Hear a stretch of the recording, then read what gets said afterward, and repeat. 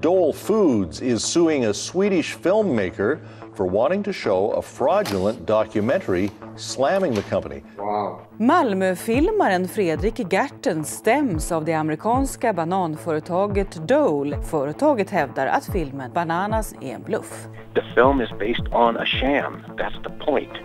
But you haven't seen the film. I've already told you no, Charlotte. So you're fighting against this incredibly bizarre situation where people are saying the film is wrong and they haven't seen it. You see this? This is the front page of the LA Business Journal. Documentary turns Doe Fo into hero despite evidence that he fabricated facts of court case. And the writer hasn't even seen the film. We have a media that is corrupted by power.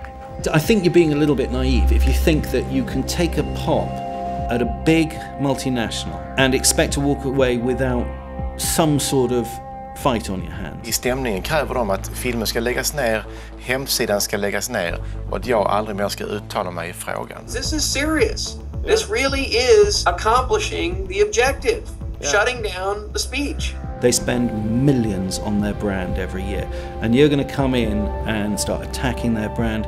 What did you think was going to happen?